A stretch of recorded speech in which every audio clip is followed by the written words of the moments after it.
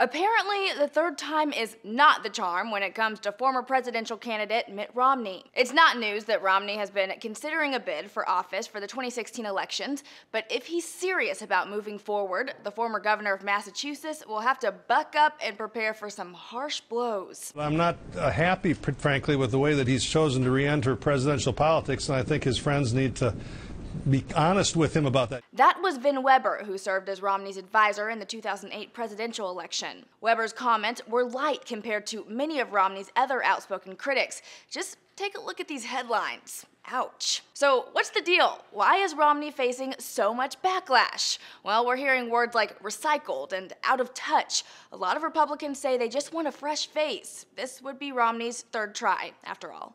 But still, as Chuck Todd with Meet the Press explained, it is pretty surprising to see just how quickly people are taking aim at Romney. This backlash against another Romney bid is probably coming a lot faster than even Romney expected, and I think it's because of the presence of Jeb. Todd was referring to Jeb Bush, who's already looking like a favorite for the Republican bid. Even Rupert Murdoch has taken a shot, saying Romney had his chance. He mishandled it, you know? I thought Romney was a terrible candidate. And with Romney's reemergence comes all the backlash he faced years ago.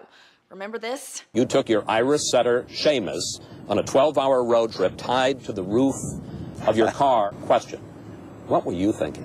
or this? Whole binders full of, uh, of women. Corporations are people, my friend. Okay, the list goes on, and as ABC notes, the slip ups will very likely continue to haunt Mr. Romney. But these are flubs both Romney and his camp have recognized in the past, and with election season right around the corner, Politico reports Romney 3.0 will center on a different strategy. Writing, Romney wants to make tackling poverty one of his three pillars of the campaign. The former Massachusetts governor also says he'll have a different communication staff and hopes to show voters a version of himself they didn't get to see last time. I love these politicians and how they talk about all the different versions of, them, of themselves. I would have been nice to see that version the first time around, but I like this. No, no, no. The third Mitt is the best Mitt of all.